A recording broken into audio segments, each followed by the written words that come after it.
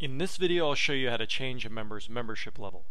The first thing we need to do is go to the member details area for the member we want to change the membership level for. And once we're in the member details area, we'll go to the manage access rights section. And under manage membership, you'll see that there's a drop-down that contains all of the active membership levels in the system. Now let's say we want to change this member's membership level to the silver membership. I select silver membership and I click change membership.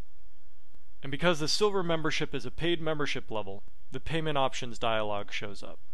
And from here, I can either upgrade this member to the silver membership level for free by clicking comp silver membership, or if I want to charge the member for this membership level, I select a product from this dropdown that I want to charge them for, say silver membership.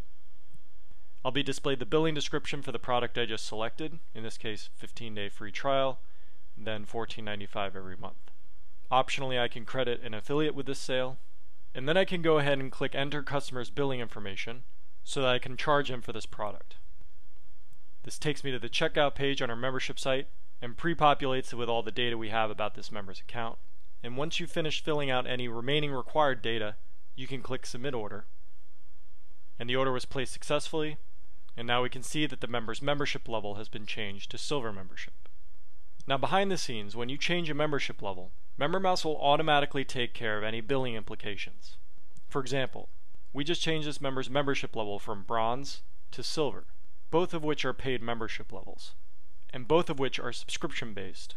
So in this case, when I change the membership level, MemberMouse automatically canceled the active subscription on the bronze membership prior to creating the new subscription for the silver membership.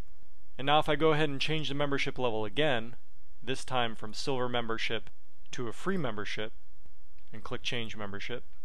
It only gives me a simple confirmation this time, since there's no payment required to sign up for the free membership level. And I click OK. And now my membership level has been successfully changed to the free membership level, and again, behind the scenes, MemberMouse automatically canceled the active subscription associated with the silver membership level.